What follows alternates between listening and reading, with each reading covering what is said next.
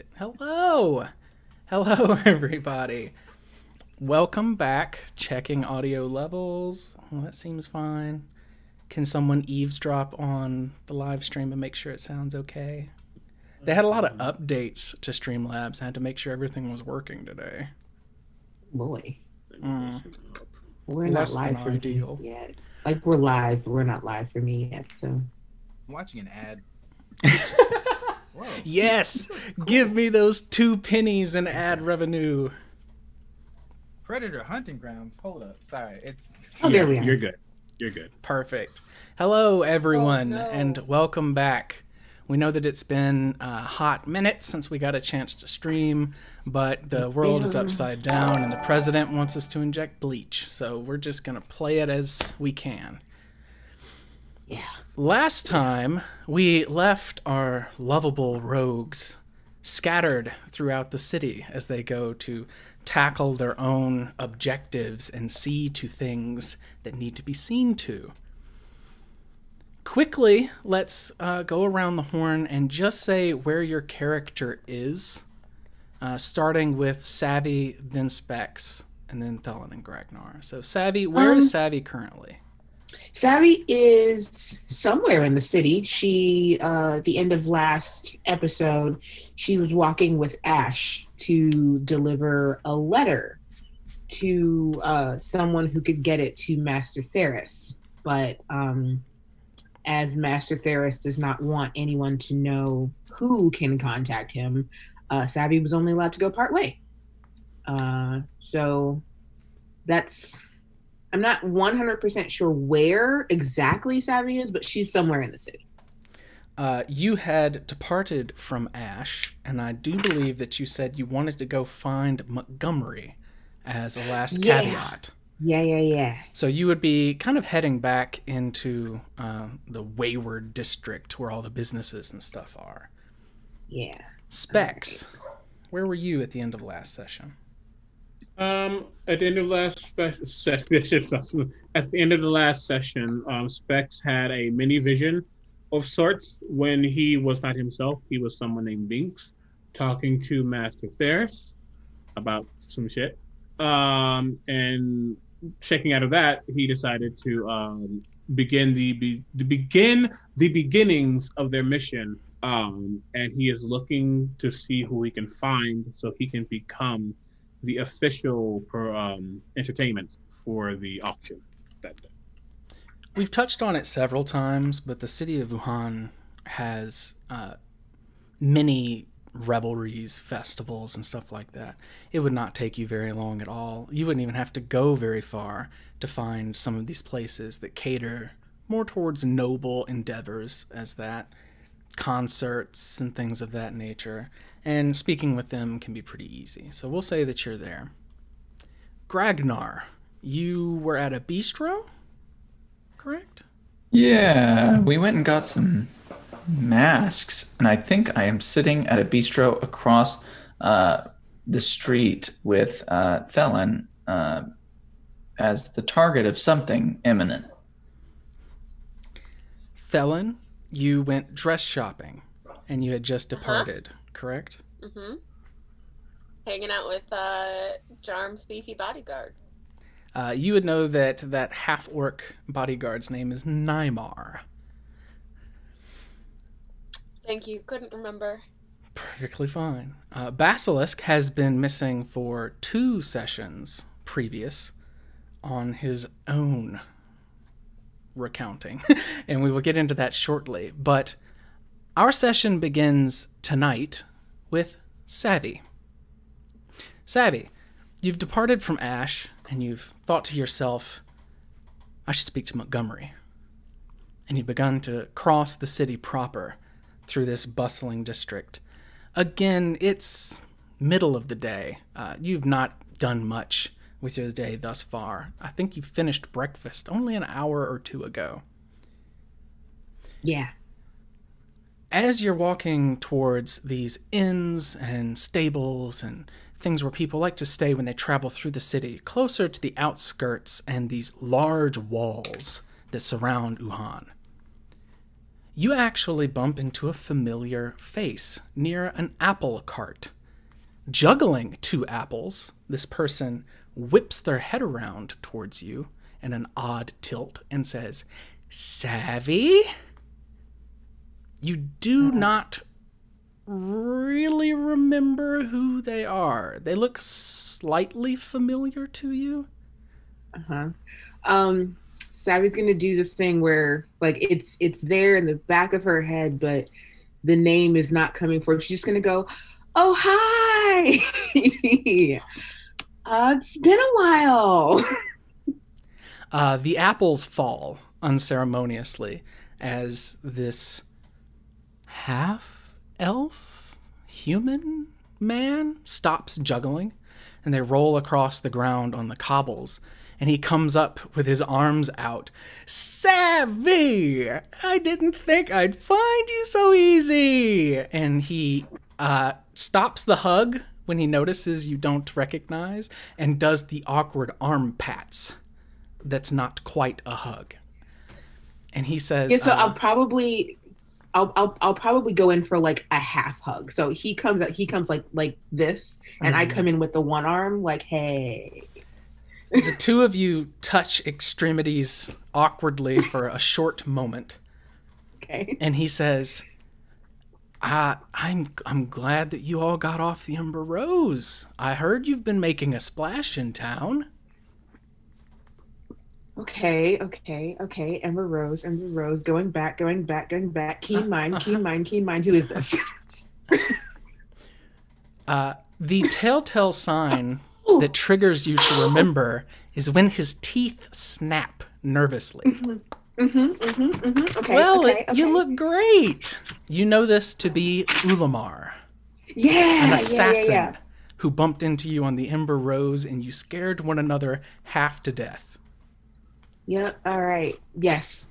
Um. Then, like, the light bulb comes on, and she's like, "Yeah, you.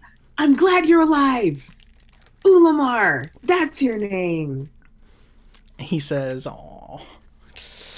It makes this weird hissing sound when he notices he's dropped and bruised the apples. He fishes into a little pouch, and you see that Ulamar is wearing very common clothes a tan shirt with a v neck, tan kind of beige pants, boots, flat bottom. They look cheap, disposable. He does not look extravagant or anything like that, but even still, he looks remarkably better than the last time you saw him, uh, shirtless with torn pants covered in oil. Yeah. Um yeah, it's uh it's been a minute. We're pretty I'm pretty busy uh with stuff and things.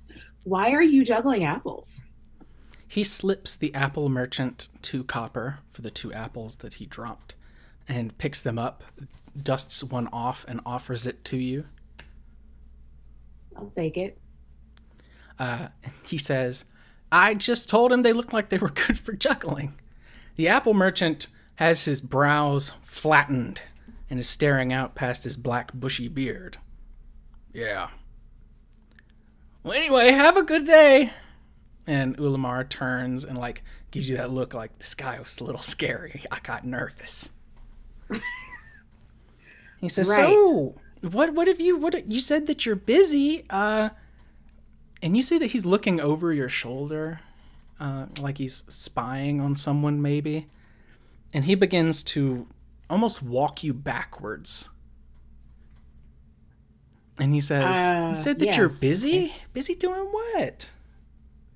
Uh, um I was actually about to go shopping. Um she Savvy will um can can I make an insight check? Can Savvy make an insight check? Uh, in a moment, yes. But immediately Okay. when you kind of check behind you, you see that there is a gnome stepping up onto a box, a wooden crate, dressed in like jester's finery, but with a flat kind of hat tilted off to one side. And hanging from the hat is a blue ribbon that just kind of blows in the breeze. And the gnome clears his throat and begins to speak loudly to this crowd that starts to gather. And he's getting people's attention. Pardon, but have you heard the latest gossip from the House of Belmar? And he's he starts unspooling these rumors and conjectures about nobles in the city. And go ahead and make your insight check on Ulamar. Well, it's not the best. Um, let me check my things. No, it's fine. Uh, insight. It's just an eleven. An 11, he's real odd. Uh, he, he does seem to be acting unusual, but other than a life and death situation, you've never interacted with Ulamar. Uh, I would Right. I would be hard pressed to say that you even expected that his skin wouldn't be green. It's more of this kind of tawny, normal farmer's tan appearance going on. So, Okay. digging into the finery of him is uh, kind of difficult. Okay. Uh, but when he sees that you're kind of studying him for this heartbeat, he leans forward and says, Do you think you could do me a quick favor? Just a real quick, little, like, two second. Um, d- depends. Um, she's kind of looking between him and the gnome at this point. Um, it just kind of like depends. What is it? Uh, he hand or he holds out to hand you his coin pouch, and he says, "Can you just spill these right over?" And he gestures right next to you. Just drop the coins. Yeah, yeah, yeah, yeah, yeah. He says. He bites into this apple.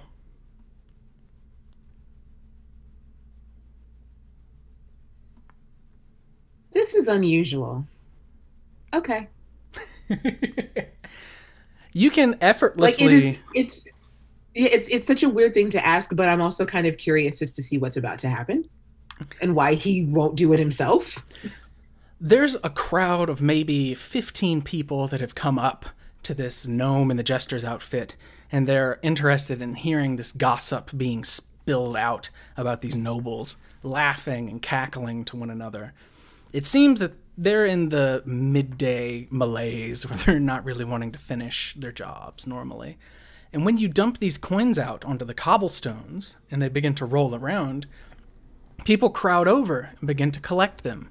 Glittering silver, a couple of gold, and a small fight kind of erupts. People scooping up the coins. The jester puts his hands on his hips and stares down at the raucous little dog pile. Can you make me a perception check, please, Savvy? Sure can. Uh, that is a 16. You're always so good with perceptions. Uh, It's one of my best skills. You see, Ulamar takes the bitten apple and pretends to pull something from it. And he says, Ugh, mealworms, very loudly, comically loudly, and throws the apple into an alley between the two buildings where you're standing. A moment later, he turns, takes one step, and thrusts his hand forward like he's throwing a punch. And the midsection of the gnome slides in two.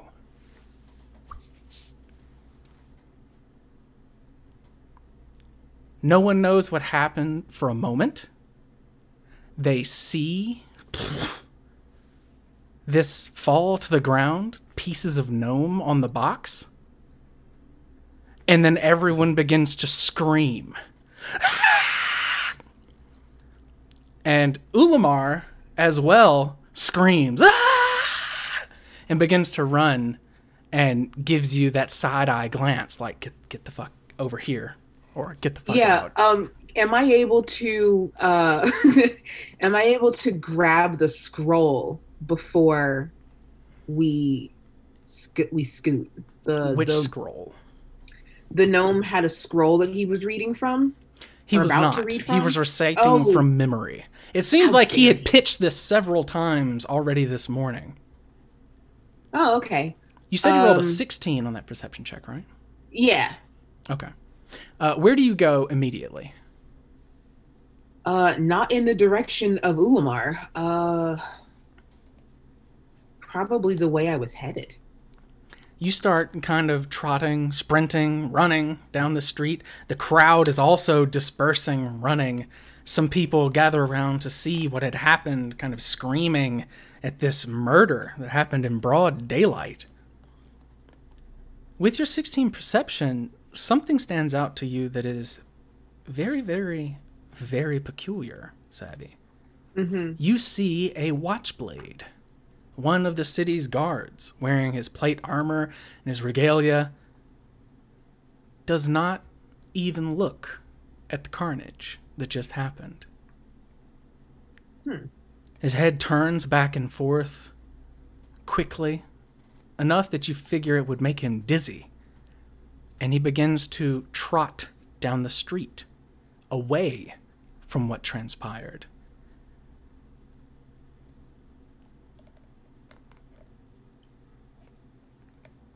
Weird. Uh, okay. Um, and then I Bells saw, begin I saw- ringing. Bing, bing, bing. Yeah. I did. I did. I see which way Ulamar went though. Yes, he went straight across the street and between two alleys. Okay. The buildings here, especially in this district where you're finding yourself closer to the inns, they're so tightly packed. Just some space between for garbage and refuse. Sometimes people sleep there, but homelessness isn't a huge problem in this place with all of the temples. Okay. Um, I think I will continue in my direction, but I'd like to circle back to the to the direction that he went. You want to make the block and cut into the Yeah. alleys? Mm-hmm. When you make the block and round the corner, again, people are poking their heads around at this point, more curious than terrified, now that the screaming has started to die down. And Ulamar kind of runs around the corner like he's going to double back and try to find you. And the two of you nearly physically bump into each other. And you see that his face is a little flushed, and he's like wide eyed. And he says, That was perfect! That was. Per- that was perfect! You did great! And he gives you a huge thumbs up. What the fuck? He tilts his head. What? What? Why didn't you tell me that I was gonna help you murder somebody? Savvy! I, I told you I'm an assassin. It's the only thing I do. But you didn't tell me that you were gonna do it now. Uh, he looks upset. And he says, Shit, I didn't. Uh, uh, he kind of bows a bit and puts his hands in front of him. And he says, I'm so sorry, Savvy. I should have been more transparent. I, it was a stroke of luck that you came. I couldn't get that little shit to stop staring at me for so long. Right. Okay. Cool. So here's the thing. If I ever run into you again, I'm going to expect that I'm going to be roped up in an assassination in some way. But just tell me. Okay. Like, I. This. I Are don't you hungry? Know. You gave me an apple.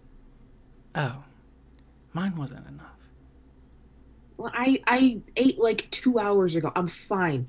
Hmm. So I don't have anything else to do today. We cut from you, Savvy, to Specs. Specs. Wait, food pulling up in five minutes. Go to Gragnar. Um, we'll be done with you in less than five minutes. Uh, Specs, dare you? you're in a crowd. Damn.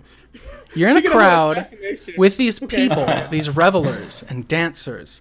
This is a troupe that usually does parties in the noble district and in these areas. And you're beginning to get a repertoire with the people in charge.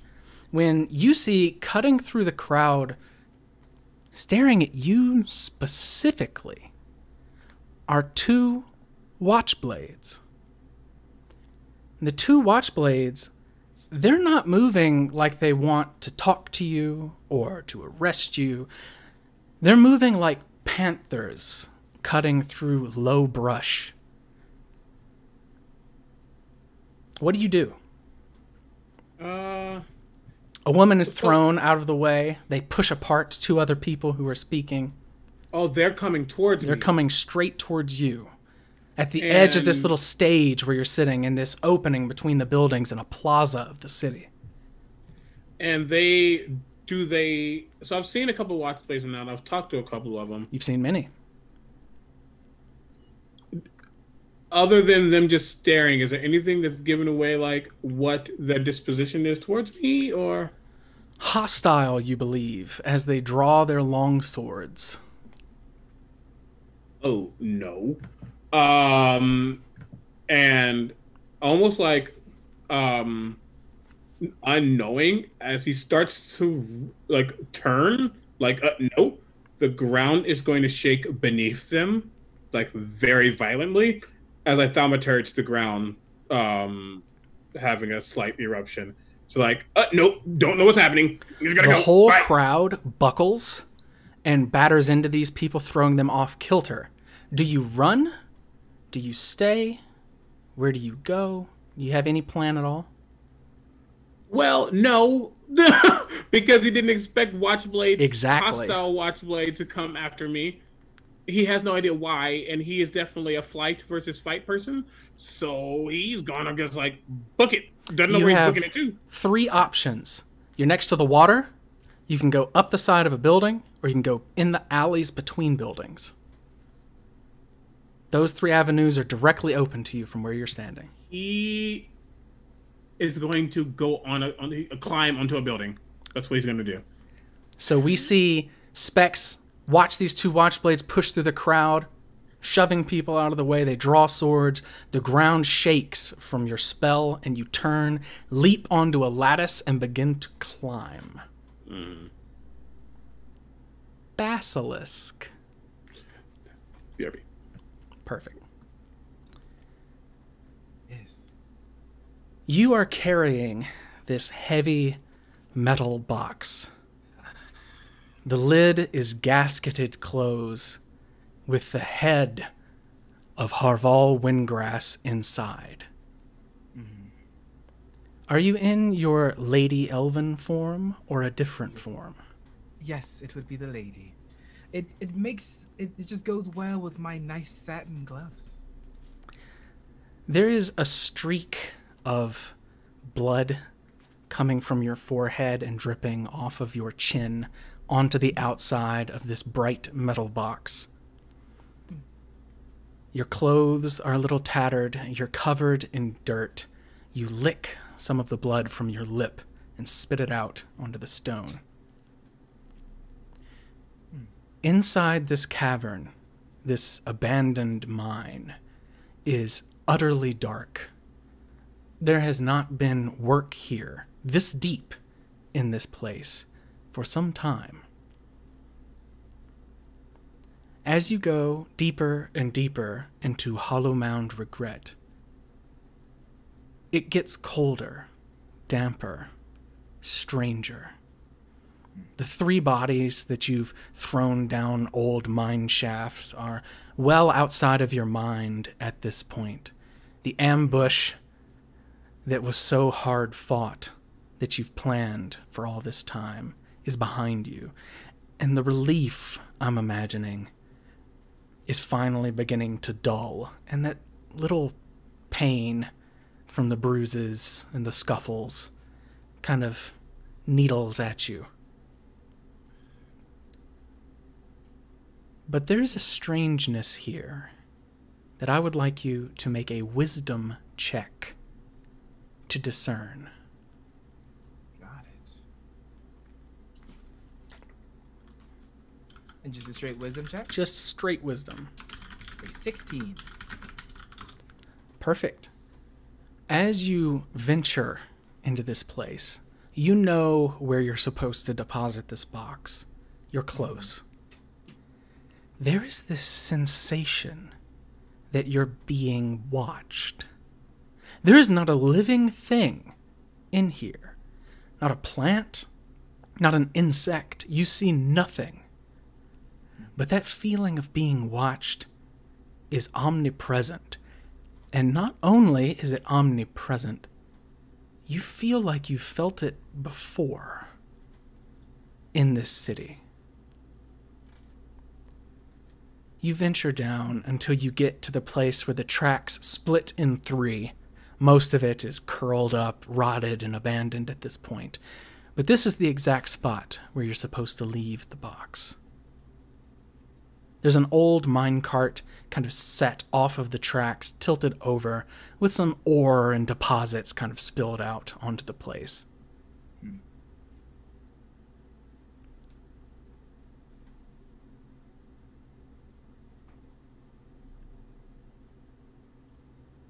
I'll just gently place the blocks down. Tick, tick, tick, tick. You hear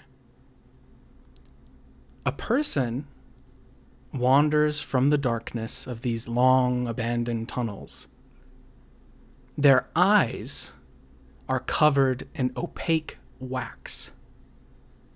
From the eyebrow to the cheekbone packed completely full with melted, hardened wax. They're wearing a robe, this female figure. A robe that has dozens of eyes on it. The eyes look in all directions and blink haphazardly.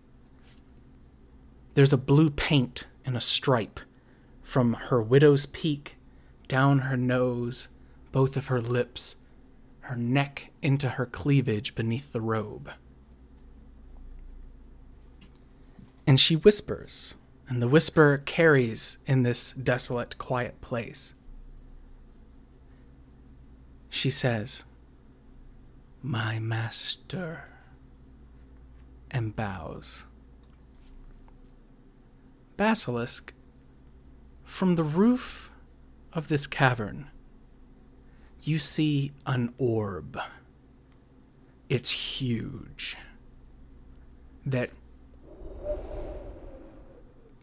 slowly descends above you. Stalks jut from the top of this fleshy orb, terminating in eyes that blink in your direction. And from what looked like a smooth orb at first, a central eye opens. And you see the gleaming teeth of a white, toothy maw that cuts across it like an axe wound. Yes, Basilisk, it says. Hello. Was this your request? It was. Well done, it says in the darkness.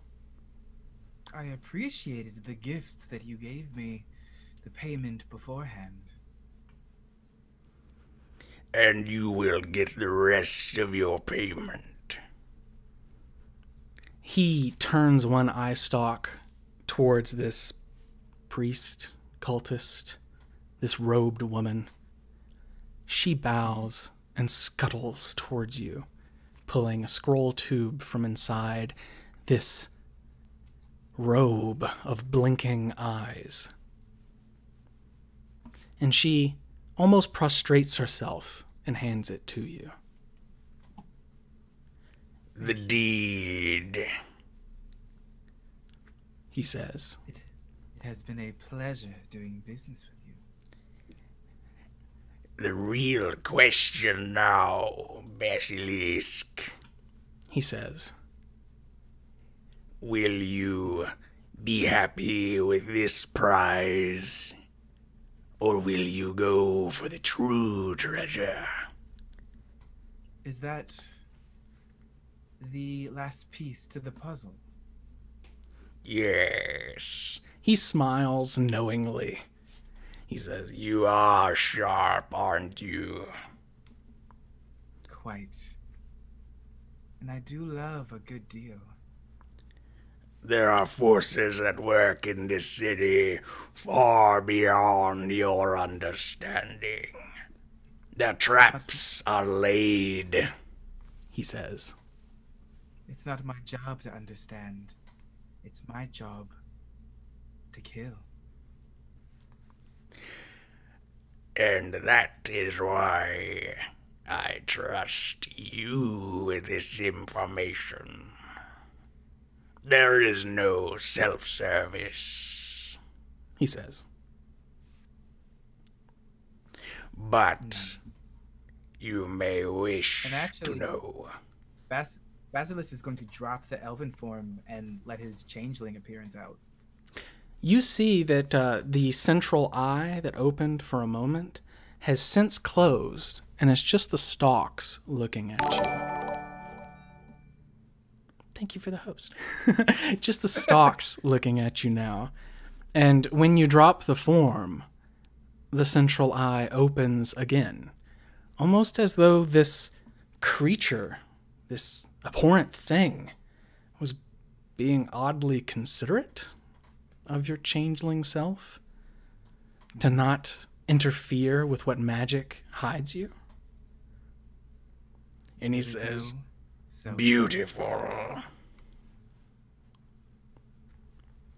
There's a grin across Basilisk's face, uh, a look of.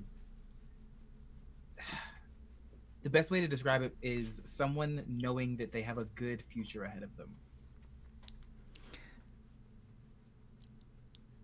He says,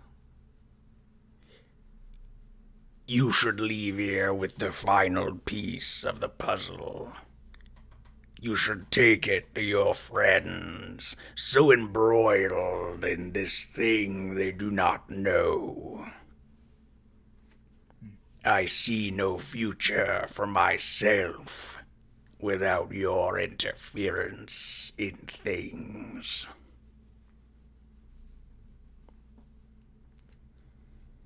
How may I serve? You and your companions killed the demon.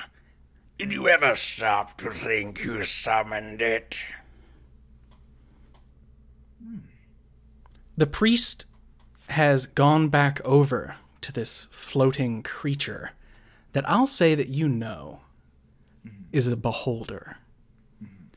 And she has taken one of its many eye stalks in her hands and is gently massaging it, rubbing it against her face at this waxy coating that kind of peels away and falls to the floor at her feet, only to grow back, melt more this endless supply that seems to come from it. As this wax smooths over and makes the stalk glistening and shiny, even in this darkness. And he says, There is a creature even worse than me in this city, Basilisk. An Illithid. Do you know them? it says, This is Gabe. Is this a circumstance where I can say I do and I would? Sure. Okay. Yes, I've never. Actually, he dropped the form. I've never killed one before, but I would like to. Actually. He says, It is here. Looking to foil a plan a hundred years in the making. And I cannot afford it.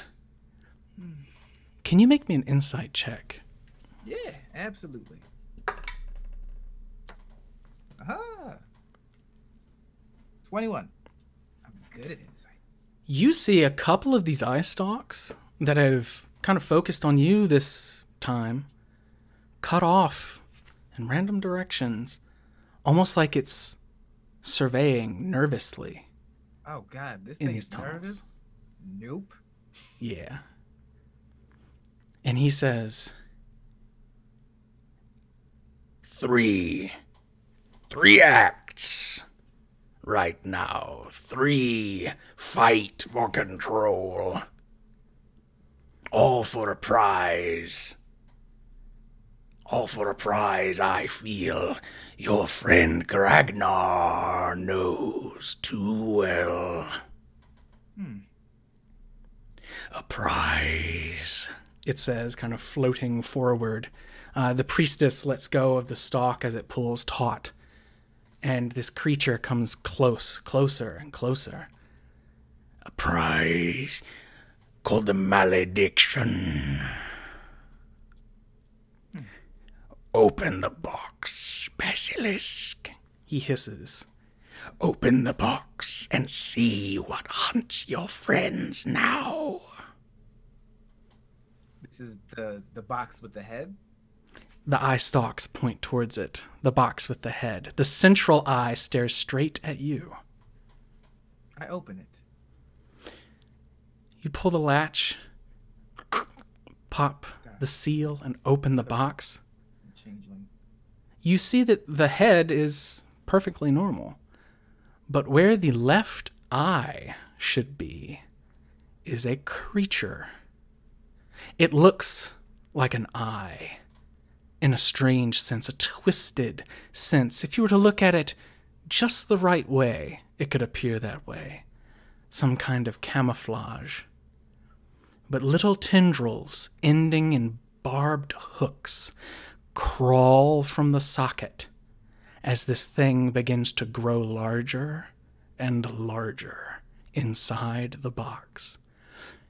The point of it, like a leech, like a lamprey eel, points in your direction, and rows upon rows of teeth come from a mouth seemingly that did not exist. It begins to crawl from the box, and a beam comes from the eye stalk of this gargantuan creature in front of you. It's so blisteringly hot that you feel your clothes could burst into flames. You have to hold your hand up to shield the heat from your own eyes. The box, the stone, and the tracks beneath the box are melted in a single pass and the creature is reduced to ash along with the head that was inside it.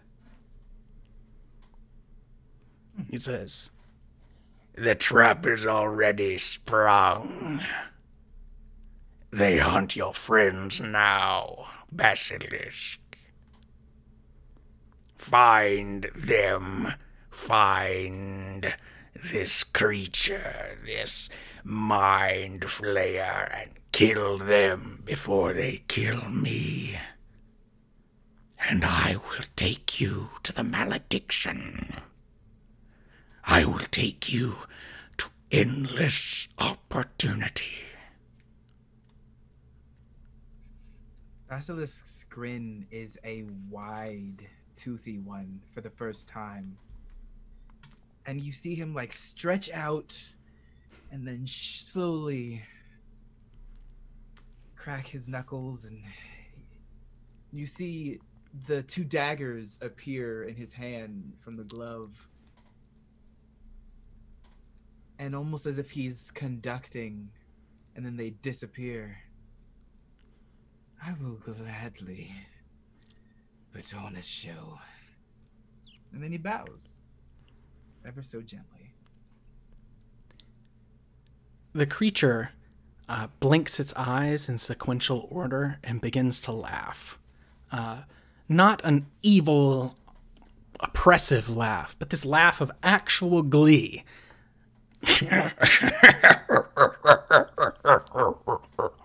and as it shakes, it begins to lift back into this hole in the ceiling.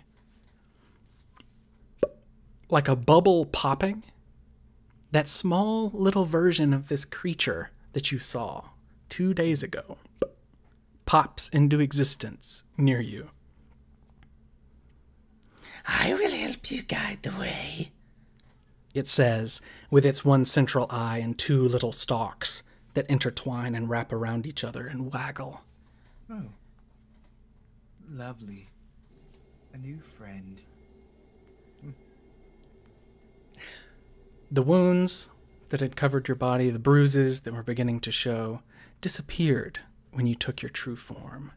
And they disappear again now, leaving you pristine, almost clean underneath. But signs of a struggle still present on your mind and on your clothes. Do you set back out into the city? The the Watchblade's armor. Did I leave it there? If you would like to. I would like to. Mm-hmm. Because I want to be him. We watch Basilisk traipse back through the tunnel, and you cross this pile of armor you've stashed beneath one of these overturned carts. You pull out the pieces, and we see the shadow cast on the wall as your form begins to twist and change to fit the armor correctly. And then stepping out through the half excavated opening to this mine is a watchblade in full regalia, wiping bits of blood from the armor. Savvy, Yep. you and Ulamar, I just need to know where the two of you are headed, what you're doing. Ulamar seems content to leave you alone if you wish, or to follow you if you wish. Seems that his day is still up in the air. Um, I think I, I still want to go find Montgomery, uh, but I don't want Ulamar involved in this. so, Perfect. uh, yeah, I'm gonna say, hey, you know, you said you were hungry, and there's a really cool cafe or whatever in vague direction. So why don't you go get food, and I'm gonna go do something else. says, "All right, Savvy. Well, next time I see you, I'll cut you in on on." He whistles and moves his thumb in a slicing motion. It's not necessary, but thanks, I guess.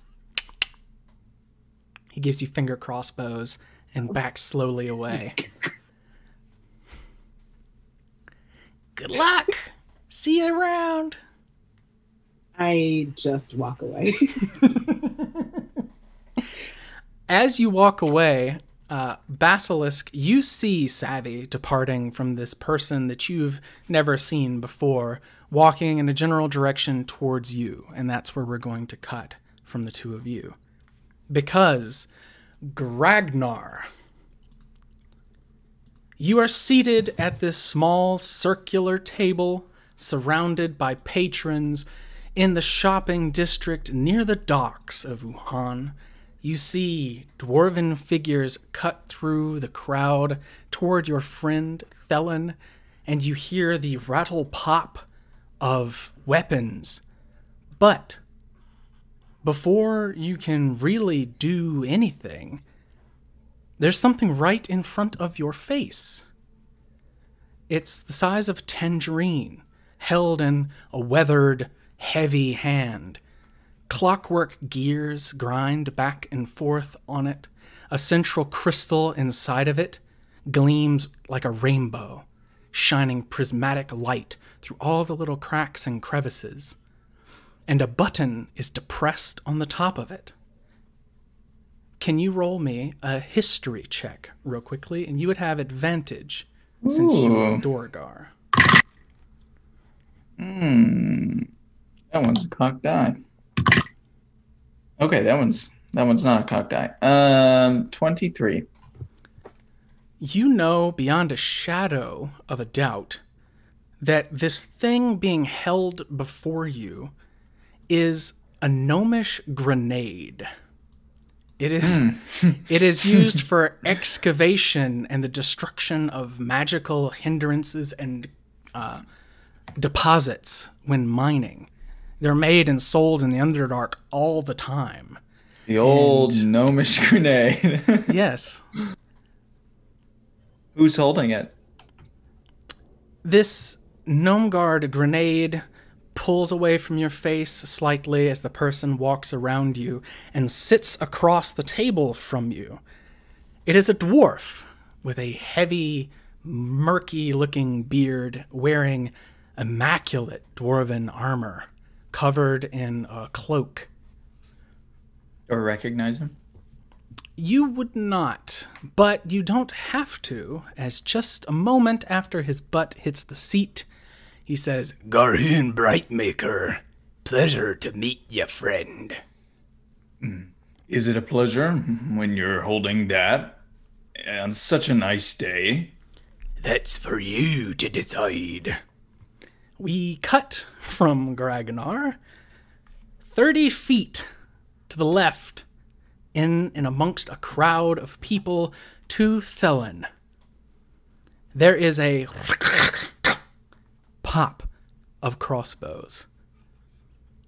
There's warm blood on you as you see Nymar riddled with crossbow bolts.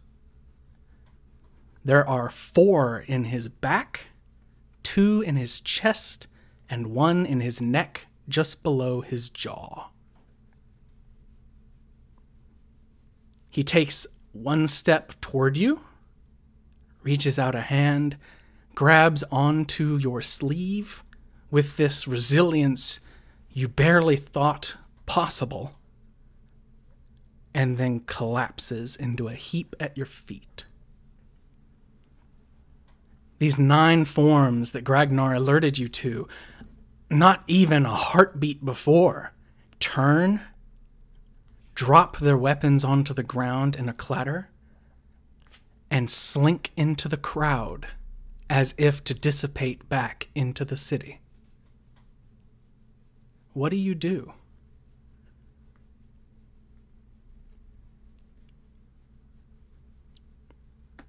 Check on Nymar? Like, is he, you know, still breathing? You take a moment, and this spatter of blood across your clothes and your hands, this protected bag that has your beautiful dress in it, spattered gently.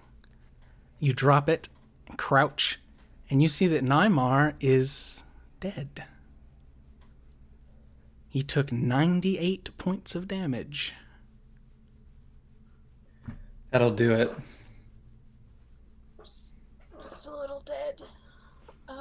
People are screaming. They're running.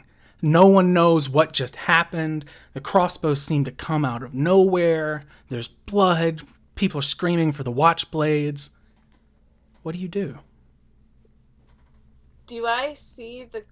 Can I look and see if I see the little tiefling mage that normally accompanies him? Go ahead, roll me a perception check. Look around. Ooh, that was real bad. I am very overwhelmed by this right now because that's a six. You do not see Robe, he called her. You don't see a watchblade. You don't. Like in this frantic moment where you're looking around to try and grab onto something concrete in this moment, you don't see anybody. You don't see the dwarves that just assaulted Nymar. You don't. You don't know. And when you turn and look back to where Gragnar is seated, you see this sight in front of him, this familiar dwarf, holding this mechanical device in the middle of this small table next to Gragnar's latte growing cold in the afternoon breeze. Is it a clear shot? Gragnar. This dwarf, who announced himself to be Garhoon Brightmaker, very quickly speaks to you. And he says, I don't want none of your blood spilt. Don't see a reason for it. What I want, the man who killed my father, I want him. He's mine. He sips your latte. Oh, you bastard. um, uh, question. So I know this device. Yes. Does it work kind of like a grenade where you would hold the, d- you depress something on it, and once that's let go, it will time off? You know that they can be set to have a dead man's switch, yes. I was thinking with my telekinesis, can I hold that button down? Um, man, that would be some some very fine control, but you could try it. Whenever the buttons let go, you could try to keep it held down. Okay, it's good to know. Um, so I would probably reply, um, your your father. Aboard the Ember Rose, you saw the person who took my father's place, held his widow's hand. I know it wasn't you. Your father was that the one that was thrown into the mast? Uh, I don't remember a, a Brightmaker on the ship. You see his left eye turn an angry, unnatural, solid pink color.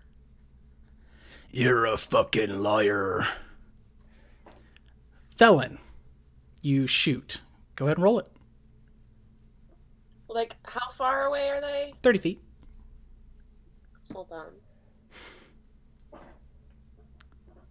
I'm gonna take the disadvantage and throw the dagger that I gently stabbed Nymar with that he just returned to me. It's almost romantic in a way. And oh, with disadvantage, that's still uh 25. All right, go Double and roll damage. And you do get sneak attack. He's not paying any attention to you. I mean, why would he at this point? Oh, that was terrible. Oh, all sixes on my sneak attack, though. That's nice. Nice, nice, nice. Mm. 13.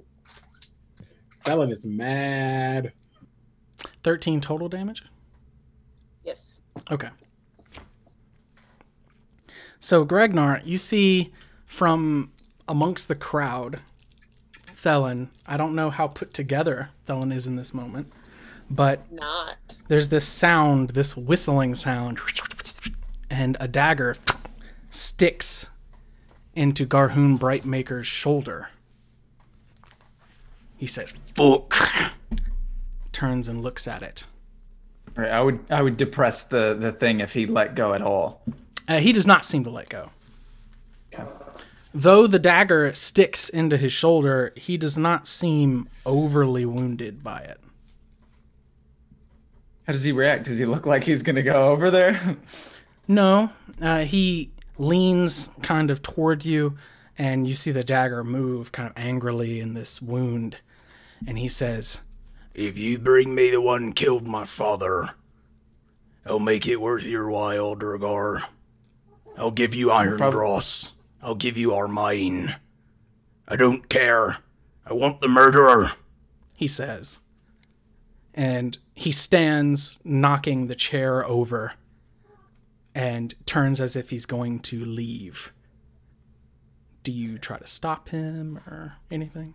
Uh, so he stands up. He's got a grenade in his hand, and he's just been hit by a dagger from my comrade. Um, I would, I would probably, uh, I'd say, I don't want the mine. I want something more. You'll have I- it. Bring me the killer and you'll have it. he says. He turns, Thellyn, and throws the grenade. Now, you see this orb coming at you. It's glowing rainbow bright. You can have this too. He throws. Uh, Gragnar. it's like 2 p.m., man. This- There's people out here. Oh, yeah. There's a lot of people. This is going to be an intelligence check.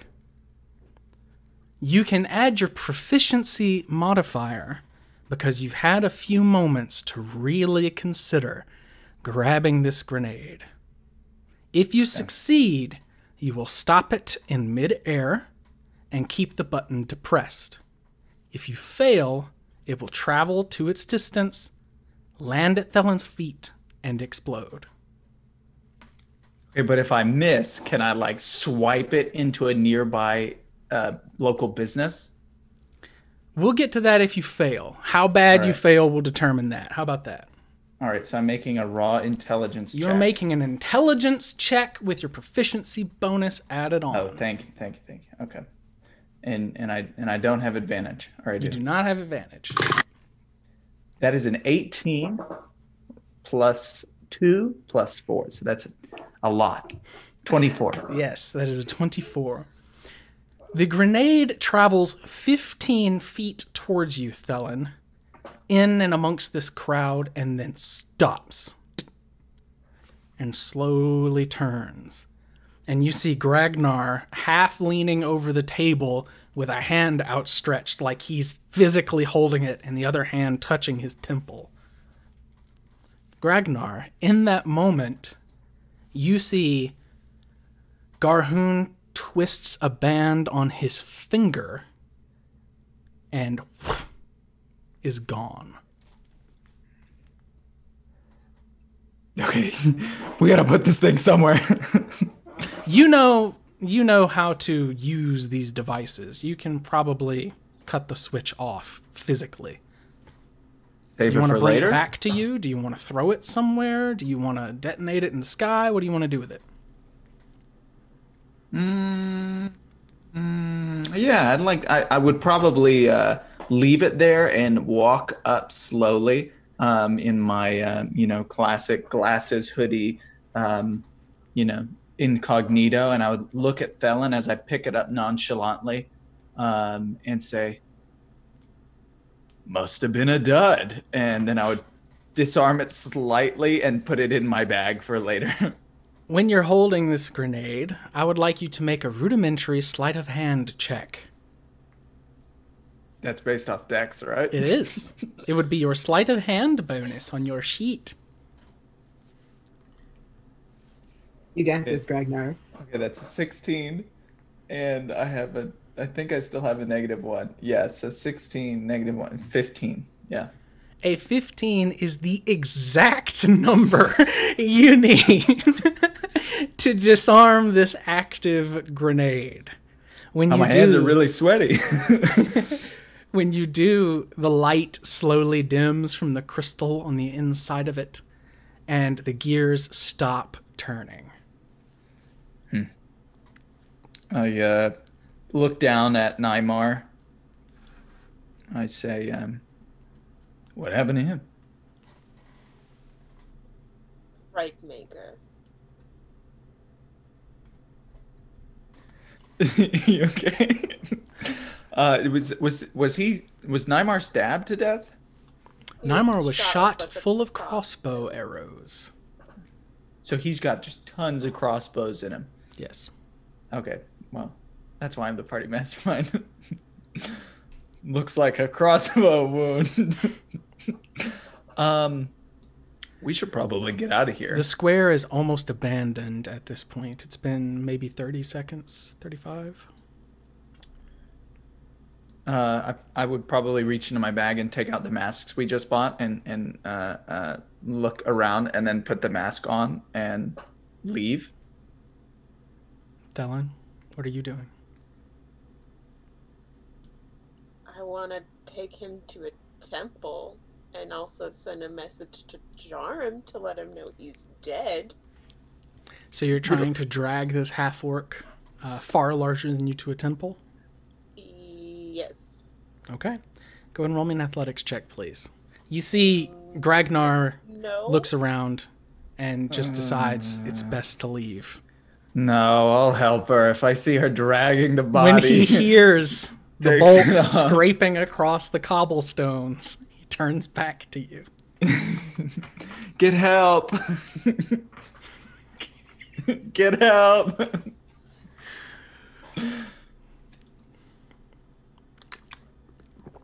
Whistles go off, alerting watchblades nearby. The watchblades arrive shortly as you're trying to, the two of you, pull and drag and carry Nymar towards a temple. They at first draw weapons as if to slay you for this murder, but realizing who you are and your reputation in the city, they stow them and instead help. Specs. You are fleeing, if I remember correctly. I would like you to make an athletics check, please. Y'all. okay. That's a dirty 20. Yay, that's a 17 on the die. You leap between two buildings. Roll. Get to your feet on the opposite, the flat top roofs here in this shopping district. Close together buildings. They're all making things very easy for you at the moment. Do you just continue to run, or do you try to gauge where these two are? Yeah, he stops once he gets on the building and like a little across the way, and he's just like, oh, "What the shit is happening? What?" You lean on the building and survey. you do not have to roll to see. These two watchblades are barreling through people on the street. They're running full tilt. They're perhaps running faster than they should be able to. Their arms are pumping like machines. One of them is holding their sword by the blade in their hand and one, the one with the blade in their hand leaps and grabs onto a stall, pulls himself up, and tries to scrabble up the building you're on. Do you continue running? Yeah. Perfect. so you run to the terminus of this building between two alleys and across a board that crosses them. There are children up here playing and tending to a small garden. When they see you run across the board, they scrabble. All right, excuse me. You say, Excuse me. As a hand comes up the building you were just on, and up over it comes this watchblade. Their knees are twisted the wrong way as they're on all fours, and they begin to sprint faster toward you. You being a rogue, are already very, very fast. But you're not outpacing them. Not yet.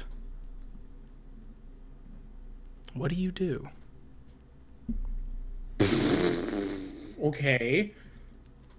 Um, I'm I'm going to get caught. You think if you run full tilt away from these people, they won't be able to close the distance, but you're going to have to do something if you want to lose them. They don't seem tired. They don't seem upset. They don't seem anything. They seem laser focused on getting you. And and kids are up here. Um, This building's only maybe 15 feet off the ground. It's not a super tall one. You can scale another building taller if you wish. You're also near, like I said, that canal that cuts through the city from the dock that lets all the water out into the bay. okay. Um, he is going to uh, definitely continue to run, but I think he's going to go down. He's going to go back down to the street. Um, he don't want to trap himself up too too high. Um, yeah, he's going to try to get down. Perfect. Maybe an acrobatics check. See how well you dismount this building. Yeah. this is stressful. That's a 22. So you leap down into a stall and tip over with the fruits and things that were in it and begin to run. It barely stops you at all. One of the watchblades, the one that was on the street, gets caught up in all the things that are sliding off of this stall as its hand reaches out and you hear it behind your head as it tries to grab you. As the drapery falls over it, it seems caught for the moment. Instead of a normal scream, you hear this guttural, bone twisting as it's trapped and reaching for you. The fingers seem to dislocate, it's trying so hard to grip you. The other, from the rooftop behind you, lands on its companion, tips, and falls on all fours again. You're a good 30 feet away from it at this point and begins to sprint after you a second time. The sword is lost somewhere, but it does not seem to care. It is running full tilt toward you again. Here, however, Basilisk, you see that there is another watchblade coming from an alley nearby, walking briskly but normally. And when it turns and sees this creature posing as a watchblade behind you, it too tilts its head back and lets out this "Ah!" into the city street that echoes between the buildings.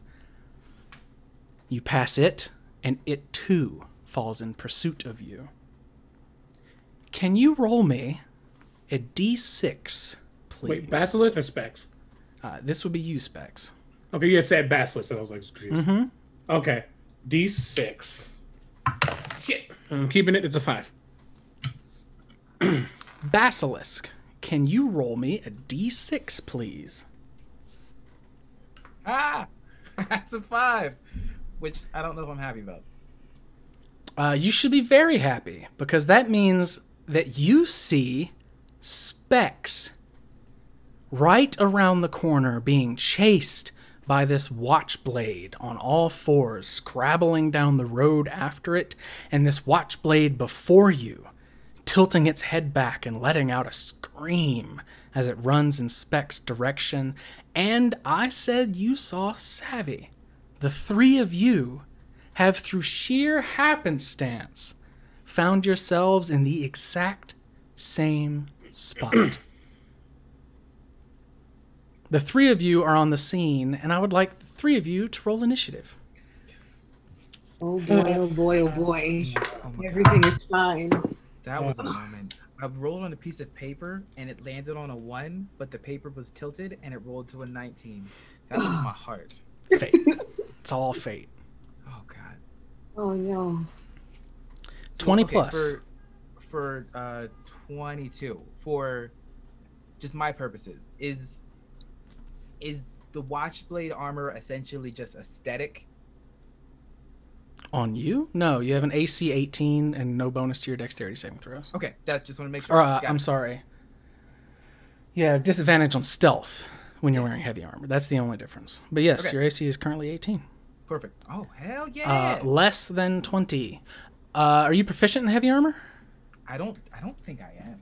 Okay, so your spells you can't cast, and you would have disadvantage on other ability checks and shit that you have on. Okay. But right now you're in a broad melee, so it's fine. Uh, under 20, but above 15. Ooh.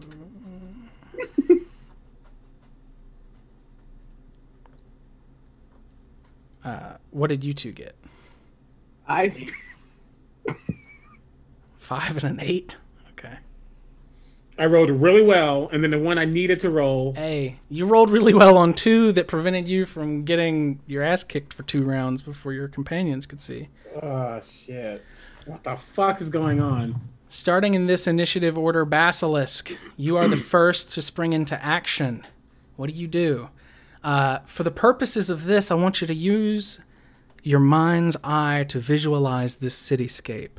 It is, it is this metropolis, this big, bustling city full of people. There are stands everywhere. There are jesters and stuff. These people are freaking out because these screams are going out. People are just trying to do their daily work and they're running into buildings. But you can get where you need to go. If you want to be there, you'll be there. Just visualize what you want your character to be doing and what it looks like for the people at home. You can close the distance. You're all rogues. Okay, so yeah, he's he's going to close the distance, uh, and as he sees the thing chasing Specs, stop, beast. Uh, so he's going to move up, uh, and then as his action, summon the two daggers with the gloves, and then throw them. Wonderful. You hold your hand aloft, and these two metallic but oddly spectral knives appear in your palm, and you flick the both of them. All right. So.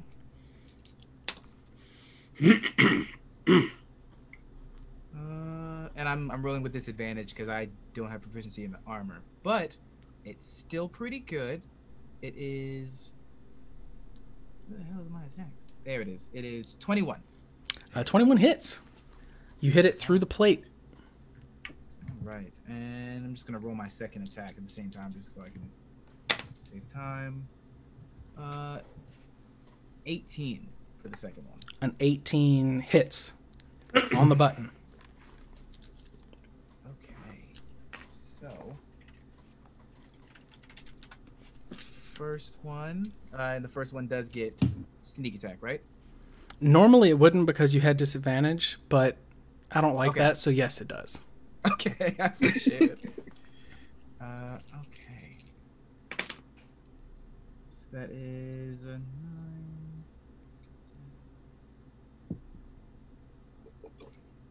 Plus, what is my bonus? Three.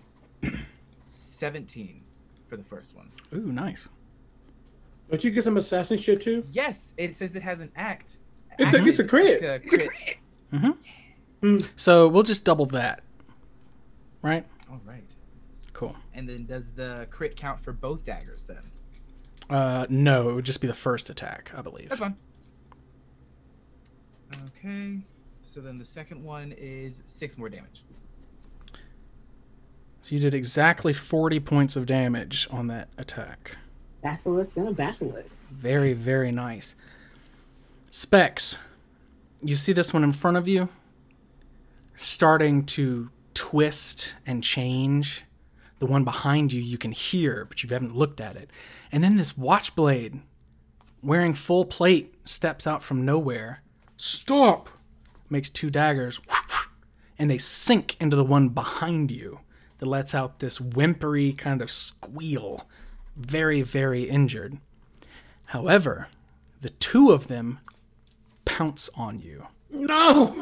One from the front and one from behind. Oh shit. No. The one from the front rolled an 18 to hit Yeah, that hits. and a 16 to hit. Yeah, that hits. The one from behind rolls exceptionally well on one and a 9 on the other, which misses. Yes. So you get hit by three swiping claws. Didn't even do anything. The shit going on. You take 33 points of slashing damage as they rake into your front and your back. When the claws dig into you, you see Oh, oh, no, no, no, no, no, no, no way. Um, I need to know. Uh, uh uncanny the- dodge. Yup. You can uncanny dodge the one that did the most damage if you would like. Sure. Okay, so you would take uh, Uh, just, just give me extra. All right. 21. Why would you do Okay, uh, okay. so hold you on, get it was 33, six. 21. You get six back if you already took it off. Okay. Shit. When these claws hit you, what what probably freaks you out the most about it is that you see the gauntlets kind of peel away and the skin and the bone underneath they're it's human. Like these hands are crushed against you digging into your own body through the metal and the wood and the living parts of you. Just their hands are almost turned to paste as they hit you but the damage is severe. One of them lets out a shriek after. You don't know what that does. But it is your turn specs. These two things one in front one in behind.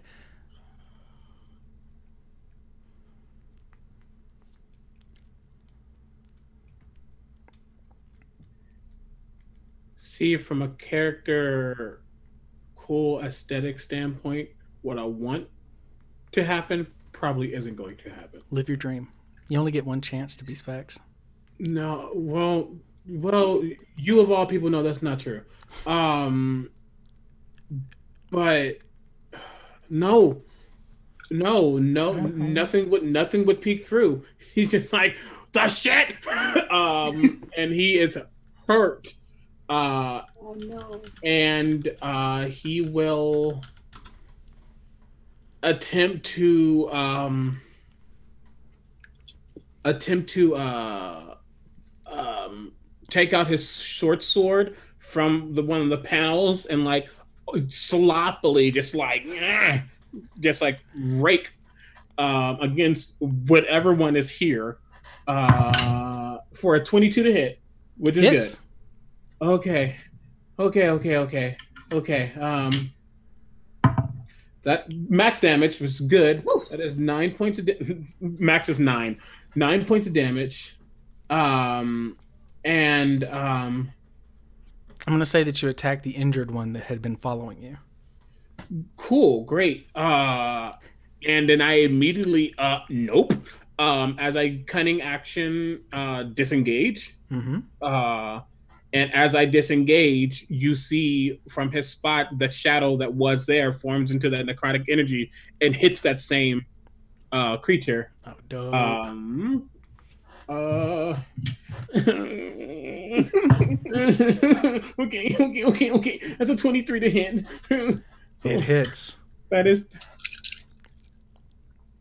uh okay not the best but not the worst. That is 13 points of necrotic damage What does it look like when this necrotic damage kills this creature?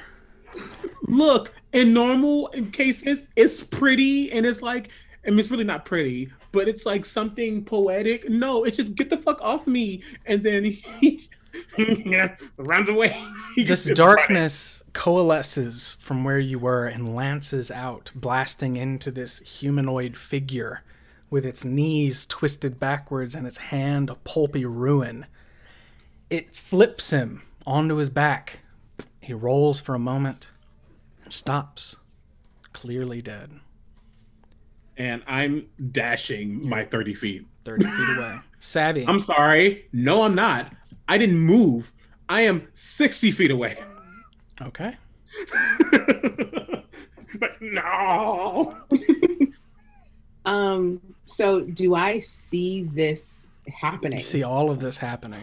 You see this watchblade materializing weapons and coming to Specs' defense. You hear Specs screaming as they claw into him. One of them die, the other still shrieking. Uh. Okay. Cool. Uh. Well, I know the, the sound of specs anywhere, so I'm gonna close the distance. Uh. And as I'm going, like I'm parkouring over carts and pulling out my rapier and going straight for the other one that was right in front or behind of specs. It was in front of, closest to you, so that's perfect. You whip past Basilisk like a breeze, close the distance, make your attacks. Uh, I'm only making one, but would it be safe to say that this thing does not know that I'm here and I have advantage? Why don't you make me a free stealth check? All right, can do that. Nope. Uh, I made a lot of noise getting over carts and But stuff. But what was your total? It was a nine. Ugh, it does have a passive of 10. Uh, It's okay. but yes, you can close the distance and you can attack it. Okay. Um, if I I can close the distance uh, with my normal movement. Sure. Okay, then I'm gonna use an insightful fighting. So it, this thing has to make a deception check, and I have to make an insight check. Uh, it will automatically fail. Nice. Uh, so I have advantage. Like as as I'm running, I see everything that's happening, and I'm like, oh, okay, cool. Uh, so as I parkour over a cart, I'm just gonna like come down on it with my rapier for a number that is a lot. It's 23. A 23 hits. I got robotic, I'm sure. 23 hits. Oh, nice. Oh, oh, oh, that's nice. Um, that is a lot. 10, 24, 27 points of damage. Damn. Okay. Uh, it again lets out another shriek, this time in pain, as you stab the rapier practically through it. Basilisk. And- Oh. As I come down at it, I'm like, what the heck is going on? Specs, this is the first time you notice Savvy is here as well. You hear her voice cry out as she stabs into this thing that was attacking you. But Basilisk, it is your turn. All right. Um, and there's only the one left. There is only the one left that you see. Gonna. Don't say that. say that, you fiend. That you see. Uh, I'm just gonna same thing. Conjure and throw. Give it a shot. First one, 17 to hit. 17 misses. All right. Second one. 19, much better. A 19 also misses. Woo! It glances off of its plate armor as you see it whip its hand around and parry the blade. That sticks into the ground before disappearing. It uses its reaction to increase its AC by two. I can't even do that. Doing anything else? Shut up, Liz. um. he's gonna look around and act like he's trying to direct people, like he's trying to be a true watchblade that cares. Yes, that way, away from the beast. We have this handled. Uh, people seem to not question it, though they are a little taken aback while Watchblade is murdering a Watchblade. Savvy, this one has been possessed by a demon. Savvy, from your perch atop this living corpse that's underneath you, uh, you see, opposite of where Specs ran from, as though from where Specs came, one more of these creatures, barreling like some kind of feral cat down the street, exactly like Gabe is running. Through its visor, as it's coming to you with its head tilted to the side, you see something crawling from its eye outside of the visor of its helm and spreading almost like some kind of moss or maybe a cephalopod sticking to the helmet and growing. Uh, It screams Ah. as it pounces onto you, Savvy. oh God. Uh, it rolled a 20 and a natural 20. Both hit, right? yeah. I don't know about your rogue stuff. No, Uh, I don't. My none of my rogue stuff. Savannah. Savannah, you take 32 points of slashing damage, the exact same that Specs took from these two Uh, big swipes. Okay. Um. I gonna uncanny dodge the the one that is crit? the most. Perfect. Yes. So that would be 21 points of slashing damage. Okay. You twist at just the right moment so that part of the blow deflects, but you still feel it down to your bones. The Like, one y'all have y'all have never heard Savvy like scream before. Savvy screams.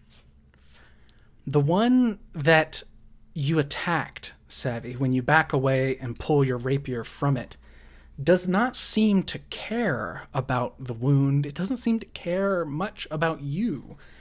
It simply cares about Specs. It lopes away from you, provoking an attack of opportunity. That is a twenty-four. A 24 hits. Ugh, it's only four points damage. Damage is damage. Specs, you look over your shoulder as it closes the distance to you and uses its pounce again to come down at you. Wait, 40 has 60 feet, feet? 40 feet plus a 20 foot pounce. 60 feet exactly. Specs, good news. One of them is a 17 to hit. Does that hit? And the other is an 8, which absolutely does not. no. So it swipes you for 10 points of slashing damage. Lights out. Would you like to uncanny dodge? You had your reaction back. Yes, you're, you're. Do I? hmm You had your turn since then. You're right. Yeah. That brings it down to five points of slashing damage. Okay. It's it's taking these pulped meat hands that they're flinders and it's trying to grab onto you. It's trying to bite at you through this mask. It's trying to grab you any way it can. Oh, oh, okay. Is it my turn? It is your turn. Oh shit! Fuck. Okay. Um, and it was only Savvy's scream that caused him to turn around. And as he turned around, he got pounced upon. Um, and it's that that finally causes his eyes to go black. As he almost shuts down and lets some the fuck and lets something else take over. As what the fuck? Go away. Um no, sorry. we don't want to go away. um and that flailing like robotic thing he's been doing as he's running it stops. You will not get me today. As he really tries to just with his short sword. Perfect. Um, um, that won't hit. Oh, it bounced on another one. It went from a sixteen to a three. Oh, okay. Um, but he is not thinking of that. He will miss, and he will disengage cunning action, run back towards Savvy hmm um, as the bolt of necrotic energy attempts to hit him as he runs. No, it's a thirteen. 13 misses. You're blasting and stabbing pieces of this ramshackle armor off of its twisted frame, and see the person underneath is stretched oddly against the armor like a balloon blown up into a box. Like every piece of armor that falls away, the skin protrudes from it like it was barely contained. Savvy, He done. Yep. it's your turn. Uh, cool. So the one that was on me went towards Specs. There's a Uh, severely injured one that was over where Specs is. Specs is standing behind you now. And Okay. this one that just pounced at you seems fresh as a daisy. Cool. Um, I'm gonna disengage from the one that pounced at me because fighting one is easier than fighting two. Uh, and gonna go for one that just tried to attack Specs. Give it a shot. Yes. That is a what is my attack? I don't know what life is anymore. Uh 22. 22 hits. yes. And there's nothing near it, so I don't get sneak attack, right? Uh, we can say that Specs will give you sneak attack if Specs would like to be standing next to you instead of behind you. If I Yeah. got there in time, yeah. Yeah. I mean, I would. I would go up. He would have stopped and turned back around. Absolutely. Oh man, she is not feeling it. Uh that is 10 plus 3, 13. A good hit. Got anything else? Uh on this action to disengage, and that was my only attack. All right. Basilisk, we're back up to you. One of them is supremely injured and seems to be flailing out after Specs, chasing him down. The other that attacked Savvy has turned its attention back to her. You are still 20 feet away, safely guiding traffic and throwing knives. Uh, and they've both like look like they've been hit pretty heavily from what I've seen. Yes. I believe so. Okay. You did hear Savvy scream for the first time. True. And uh how is is the one next to Specs or just chasing him down? It is 60 feet behind Specs. Specs is outrunning it handily, I believe. Okay. Okay. That one is well. No, because I if it's sixty feet away, I'd have to move thirty. It would still be You can get there. That's what I said at the beginning. okay. if I you want to be uh, there, yeah, you can get there. yeah. All right, I'm gonna move there, and I'm gonna throw a dagger. At the, I'm gonna throw the two daggers at that one. You close the distance between yourself, Specs, and Savvy and throw a dagger. Give it a shot. Right. That's a sixteen for the first one. A 16 misses. All right. Second one, 19. Much better. 19 hits. All right. For seven damage. It sinks into the visor of this armor as it spins back around to try and chase Specs. It lopes two times and it crumbles and slides across the cobblestones in a heap. Don't worry, citizen. I am here to help. There is only one of these creatures left standing. We cut to Thellyn and Gragnar. The two of you have four watchblades accompanying you, carrying Nymar to the temple of your choice. The two of you need to make me an insight check, please.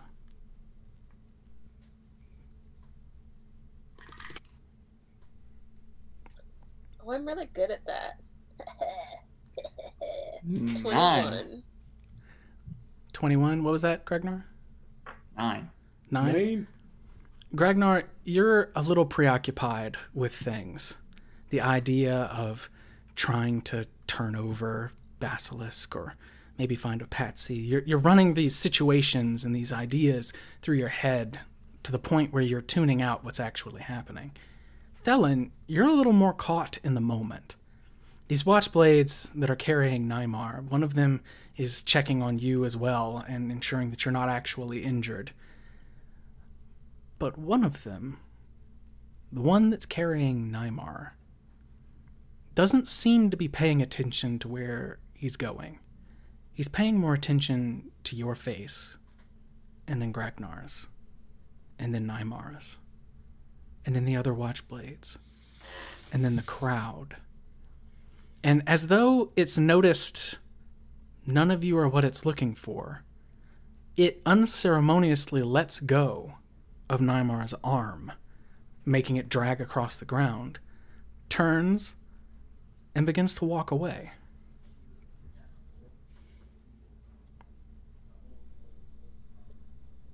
Excuse me.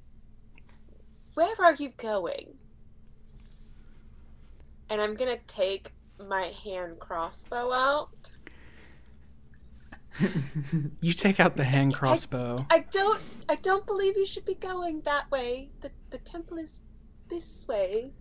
The the three watchblades with you furrow their brows, lower Nymar, and grab their weapons, looking at you, Thellyn, drawing weapons like this. But they also seem very suspicious as well. And this was fourth just riddled with crossbows. I'm just being careful. this fourth watchblade turns back to you. And when it does, and you see this gleam of light from the sun through the visor on its eyes, these very pretty emerald green eyes, there's this strange sensation of movement that you see inside one of its pupils.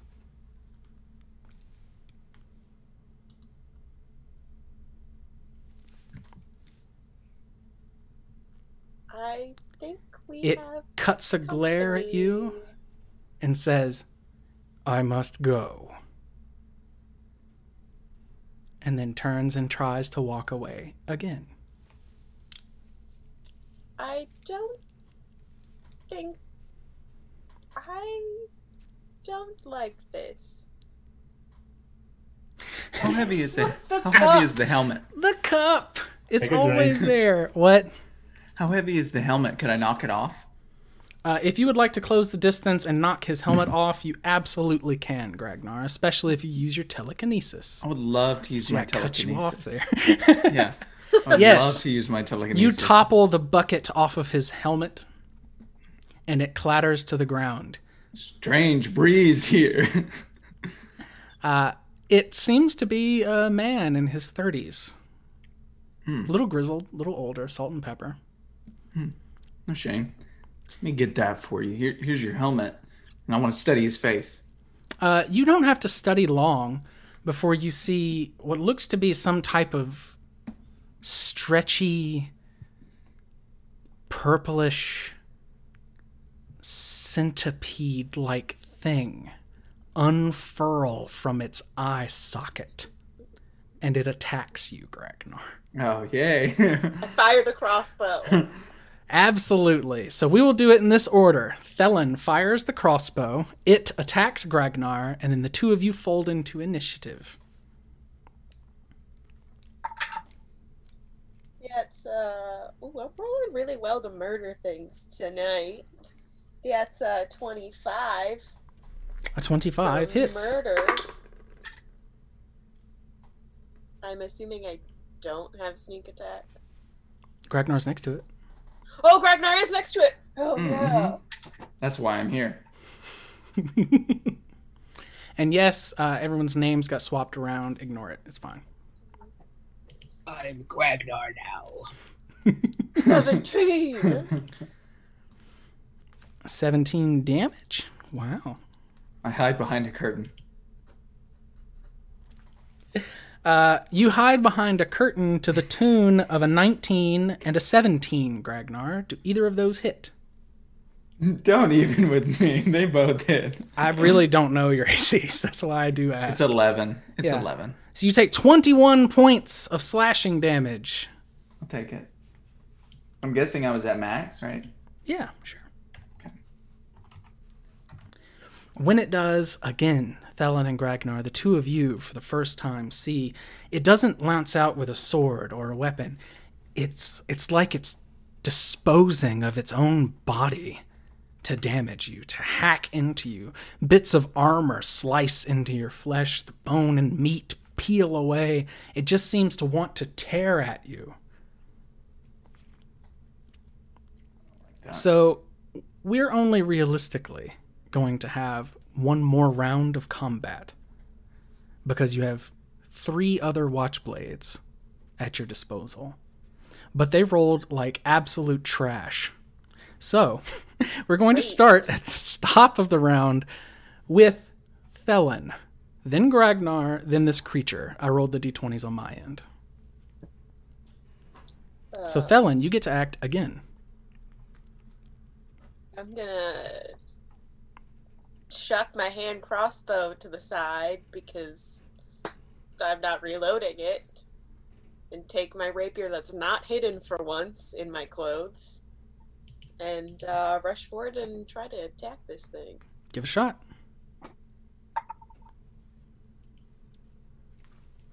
I don't think I'm gonna. Uh, 18. An 18 hits exactly. Oh.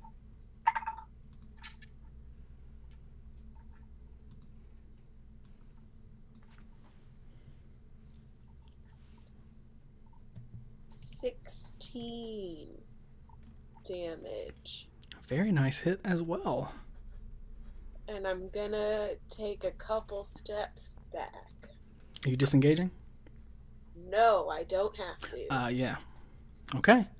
Gragnar, you see this thing has been wounded twice, once by a bolt and once by a rapier stab.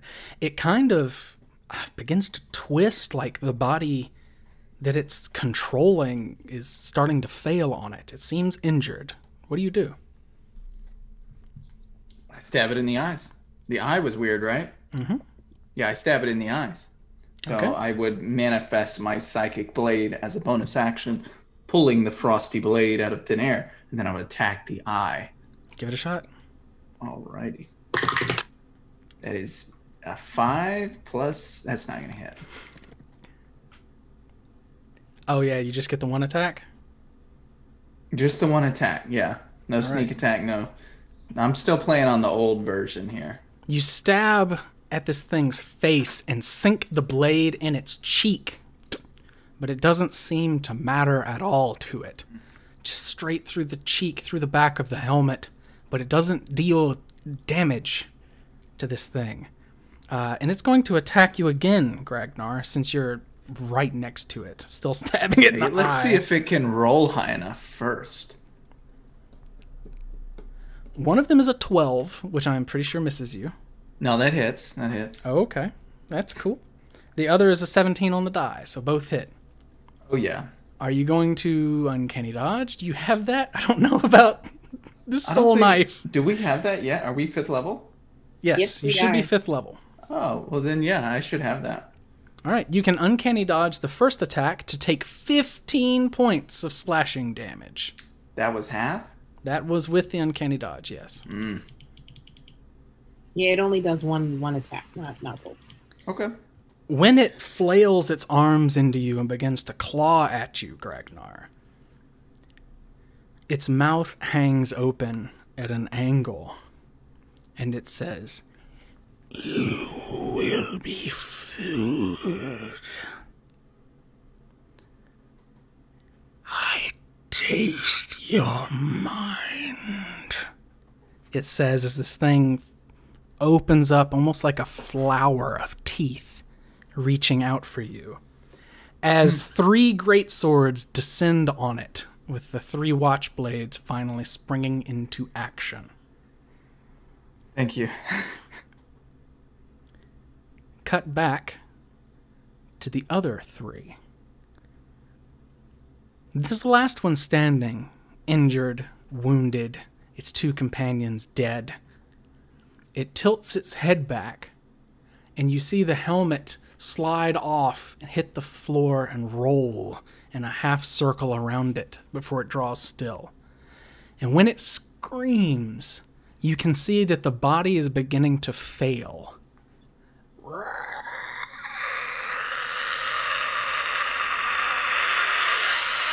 The bones are twisting and beginning to fall. It's as though the muscles are pulling too hard against the structure of this human. But this scream echoes so loudly, you cannot imagine the whole city cannot hear it. Almost an entire district away, Thellyn and Gragnar, the two of you hear it in the wind. this preternatural sound echoing between the buildings. Deep underneath Wuhan, the tunnels that lead into the quarry echo with this scream. It echoes again, darker and deeper underneath the city, into a chamber that splinters into five different directions. A creature there, standing next to this primordial puddle of purple and pink liquid, writhing around in the darkness. This bulbous headed creature, thin and willowy, clutching its long clawed hands together, turns and looks out towards where the city should be. We'll make more. It says into the minds of all of its slaves. Find the Warforged. Find him now. People across the city hear it in their minds. Each one of them drops what they're doing. Find the Warforged now. A basket of apples hits the ground and rolls into the gutter as the apple merchant drops what he's doing and begins to walk towards where Specs is. Find the Warforged now. A street sweeper drops his broom and begins to walk in that direction as well. dozens of people across the city all turn and walk towards where Specs is standing. And that is where we're going to end tonight's session. What the fuck? Find the Warforged now. Oh my goodness. What? Well, it's not me for one. Mhm. You'll Yeah, be a I'm casualty. It was a Most good day for Basilisk. I got I got a deed. I got, got- paid. I got to meet cool people. I got a new pet. Like it's my it's a good day. Wow. Wow. Hang in there with me, gang, because next session, a lot of questions are going to get answered. A mm. lot of things are going to change. But are we about to have 10 million more questions to replace them? Maybe. Probably. Thank you very much, viewers who did come by and hang out with us. We know that it's been a little while since we streamed, and we're so happy that you could come and watch us throw some dice and do some crazy stuff. I tried to uh, warn the cast a couple sessions ago. I'm like, the last two episodes might be really combat heavy. So we went a little light on combat up until now, but next session I think might be uh, the most tense since we started playing. So please consider coming back for next session, which, barring unforeseen circumstances, should be next Friday at we're gonna say 5:30 PST, 7:30 CST, so that we're actually here. How'd you guys enjoy the session? Was it okay? I know that it was a little so long in the tooth. You can tell I'm very pink and I'm very greasy. It is so so hot. I've sweat through all of my clothes already. I, Did they I'm not fix your air yet? no, they have not fixed my air yet. This is day two.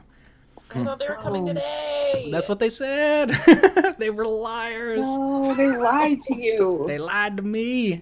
But thank you all so very much for coming. We're going to swing by and speak with all of our cast members in their actual order, not how they're displaying on your screen right now, so that you can know what they're up to and where to find them. Starting, as always, with my good friend, Critical Bard. Okay, hi. Um, Critical Bard, Critical Bard across all social media channels. Um, yeah, okay. Did not. Okay. Um, tomorrow you can catch me on uh, twitch.tv slash Beadle and Grimm's, along with Justice and Latia as we uh, So play excited. Justice's um, adventure, and I'm sure he can explain more than that. Mm-mm, not really. Okay. But, uh, and yeah, Latia and I are playing twins, um, twin Genasi, though different types of Genasi. Why? Who knows? Um, but uh, yeah, um, other than that, I'm not doing much. Uh, most importantly, um, I just released my new subclass on DM's Guild uh, called the College of Acapella, and it is officially copper selling because how? Don't know. Um, It's on the its way to silver, I would imagine. It's on its way to silver. Yeah. Um. Yeah. I'm like kind of discombobulated from that. It's so okay. that's me. Justice, please tell us what you feel comfortable explaining about your session tomorrow and what you're doing with Beatles and Grimm's. It's super exciting. Um, so we're playing uh, through an adventure that I wrote. Um, it's going to be two sessions, um, one tomorrow and one the following uh, Saturday. It is milk-based horror. Um, if you're wondering what that is, Say that one more time. Milk, based Milk-based horror. horror. Yeah. I think the more I've said it, the more I've regretted writing the adventure. So it'll be fun. Y'all are gonna hate it, um, but it's gonna be fun. Um, and then uh, early next week we'll be releasing uh, uh, Candlekeep, um, Elminster's Candlekeep Companion on the uh, DM's Guild. So it's gonna be super cool, and it'll be the first time with a full color overhead map of Candlekeep, which is accurate to um, its current state in the Forgotten Realms. So I'm That's really excited for it. That is so awesome. Latia, where can people find you and what are you up to? Uh, I am the Lady Tiefling across all social media. Uh, I am doing, I'm hanging out with CB and Justice tomorrow, uh, like they both have said. Um, there's not really much more that needs to be said about it, other than I'm very excited to be playing uh, with such a fantastic cast of people, with such a fantastic DM. Um, other than oh, um, first week of May, um, I think it's whatever that that first week of that first full week of May, that Thursday, I will be playing um, in a game for Jasper's Game Day, which is a uh, nonprofit charity to um, uh, for suicide prevention, et cetera, et cetera. I don't have all the information, but my game is Thursday afternoon. I think um, I will put more information about that out uh, as we get closer to it. But that's one of the things that I've got coming up. So May seventh. yeah, that one. Am I? Am I playing with you? I just looked up the date. Oh. well, there's there's games going. Uh, there's games going all that week. So Yeah, it's from the second to the 9th. yeah. That's so great. Uh, I have I have ran games and participated in games for Jasper's. If you've never heard of Jasper's Game Day or Jasper's Game Week, please check it out. Jasper does some amazing stuff. Yes, Uh, uh, Fenway Fenway Jones, who has who started the nonprofit. She started it when she was 14. That was three years ago. She is a badass. I love her so much. So um, come on, come on by, watch all the games, donate. There's prizes to be won, auctions. It's great. So uh, yeah, I'll be putting out more information about that as we get closer to it. And I'll be sure to retweet. Yay! Liz, how you holding up? You okay? Sorry about Nymar. Listen, R.I.P. Nymar. it could have been me. So I did I roll don't for think- it. I don't think Uncanny Dodge would have saved that. Um, but you can find me not dead at Raptor Handed on all social media, and uh, I will be watching the milk based horror tomorrow because, you know, horrifying backwards knees wasn't enough. I need some milk based horror in my life too. Why is the backwards knees the one that hurts you guys the most? I guess it was the weirdest thing I could think up, so that works. Uh, Gabe, what are you up to? Where can people find you? Uh, you can find me at Gabe James Games uh, on Twitch, Twitter, and pretty much anywhere else. I am working on a couple different things. Um, I updated my class system where you can do ability score increases by class, and I should have the rest of the classes actually done in the next two days because I've been pumping it out. I have going up either today or tomorrow on DM's Guild uh, the 100 list of rumors and conversations. Um, and I've been working behind the scenes uh, on a third project, which is a hero system that is largely inspired by My Hero Academia. It's currently called the Hope System Heroes of Power Evolving. So I'm very excited to get into that a whole lot more. Yeah, it's been it's been good busy now that I'm like feel like I have my life together. Now that we all feel like we have a little bit of rhythm uh, back into things, yeah, it's been it's been a lot Adjusting to better. the new normal. Adjusting to the new normal. That's the perfect way to put it. And I have been your phrase so dungeon master, JB. What about Finally. Liz? Huh? What about Liz? We did, Liz. Did we? At Raptor Handed. Yes, ma'am. Yeah, I complained about the backwards knees. That's right. Where was I for the last two minutes? You're inside your head about tomorrow. It's going to be great. Milk based horror. oh boy. And I have All right. been your very greasy, very warm DM, JB. I'm finally done with uh, with my Twitter dark ages, and I'm back on Twitter full time. You can find me at Drop the Die. Thank you all so much for coming and watching the game, and we will hopefully, barring unforeseen circumstances, see you next week for the season one finale of the Little Rascals live stream. What comes after that will probably be a game run by Gabe because he keeps asking whenever Gabe chooses, and potentially another game run by someone else. and then we should be back for season two. So stay tuned for those as well, everybody. We are going to kick a raid over to a channel. I don't know who's on it. I hope that they represent. But if you would like to stick around for that, you can join the raid and get some extra channel points, which you can redeem for all sorts of cool stuff. I'm going to go stand in front of a fan. And until next time, see you later. Bye. Bye, everybody.